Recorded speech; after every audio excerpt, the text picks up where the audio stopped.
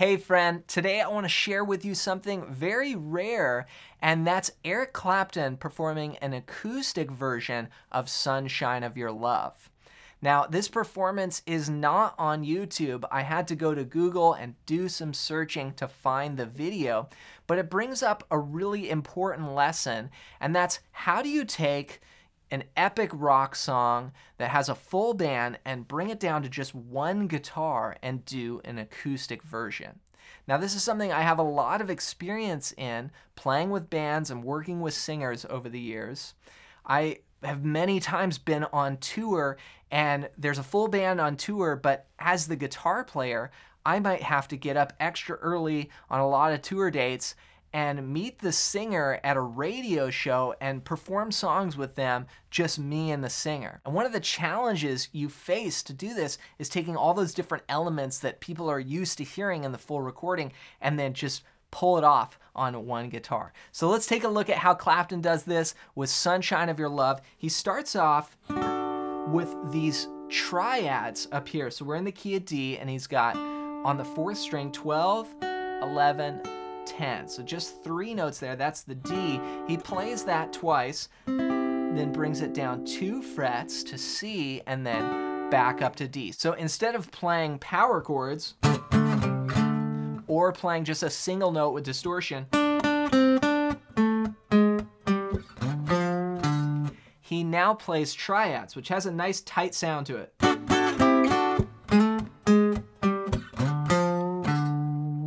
So he starts there, one and two and, then you shift up to the fifth string and play 12, 11, 10, and he actually slides into it.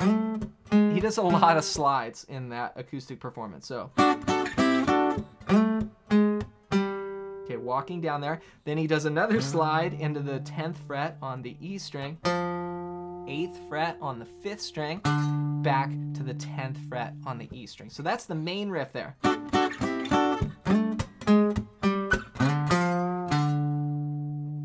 Now those notes are actually all from something called the D minor blues scale, these notes here.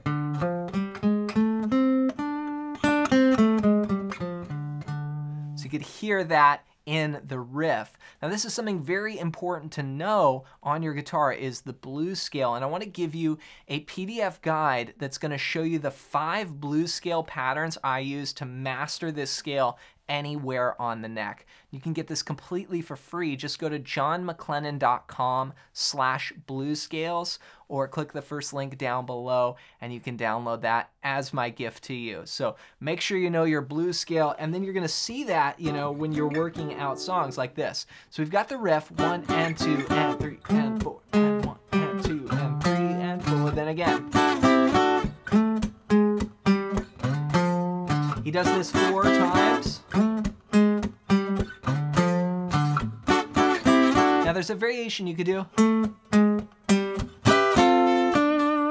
That's another one he does. And of course, Clapton, you know, he would use double stops or he uses double stops all the time in his solos and rhythm playing here. What that is, is you start the same way, D, C, D, and then you play 12, 11, 10, and then instead of going, here he goes 12 and 12 on the third and second strings to 10 and 10. Those are the double stops there. And then 12 on the fourth string. So that would sound like this.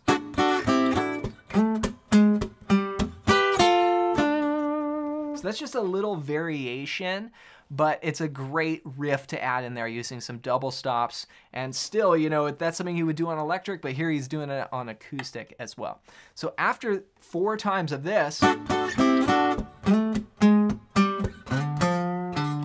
we go to what's called the four chord. Okay, and this is a common thing you hear in the blues all the time, which, by the way, this riff is based off a classic blues progression. And again, tying in that blues scale, it's like it all connects here. Here I've got a G chord, okay? And that's the same shape.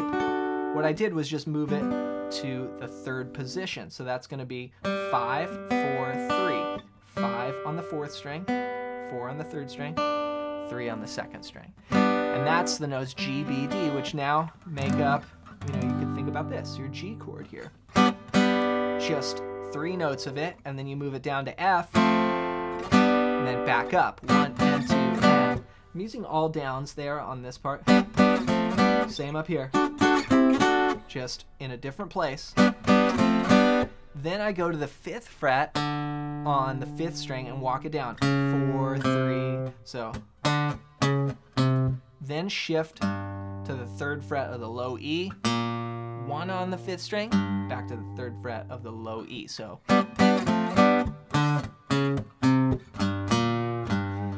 the rhythm here, we're starting out with those eighth notes, but then the, the line walking down is syncopated. It comes on the offbeat. So check it out. One and two and three and four and one and two and three and four. Then again.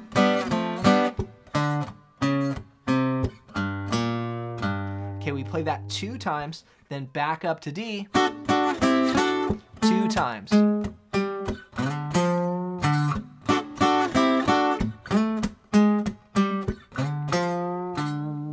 So this mirrors something called a 12 bar blues where we have a riff four times on the one chord D, which is basically this part. Then we have the riff repeated over the four chord two times, which is G here. We go back to two times on the D. So let's try that all together. So just to recap, four times, then two times, then two times. Get set, and I'll count us in. One, two, three, four, and.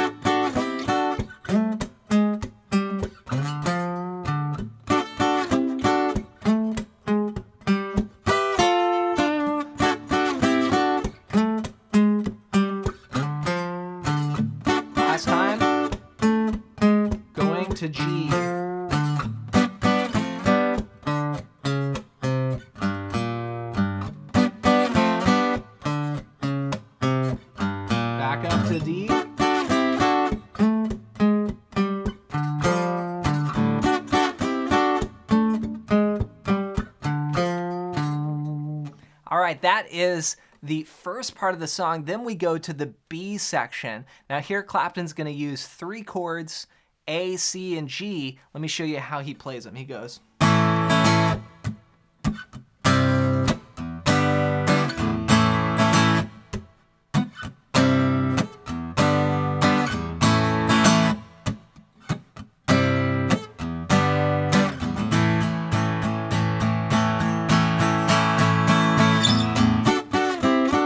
All right, here Clapton's using just three chords. The first one is A, and this is the fingering that he uses for the open A chord in this performance. Now, I don't use this fingering that much, but I'm just copying it, you know, to copy Clapton. This is the open fifth string, then middle finger on the second fret of the fourth string, ring on the second fret of the third string, pinky on the second fret of the second string, and then open E okay?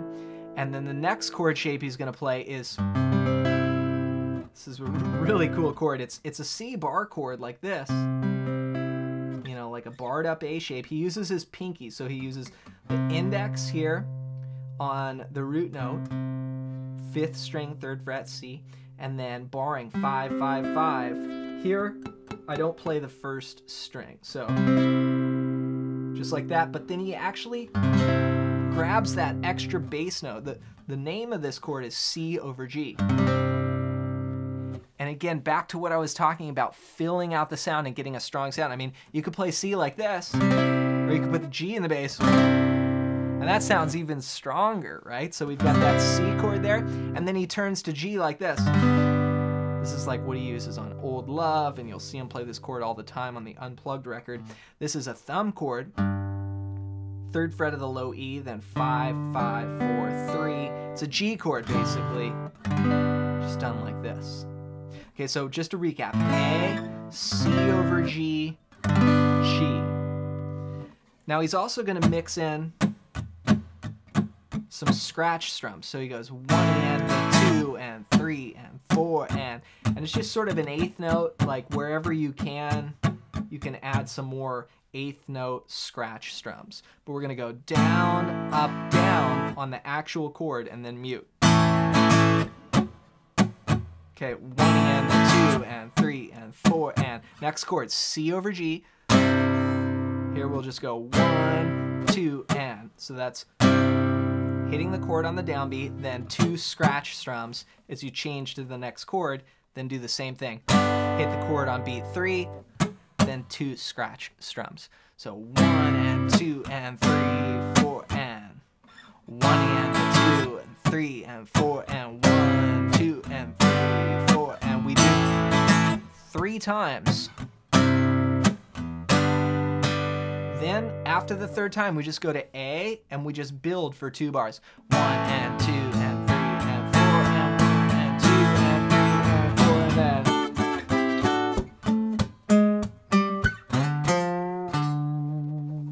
we're back to the riff after that. So here's the whole B section played as one piece. A one, two, three, four.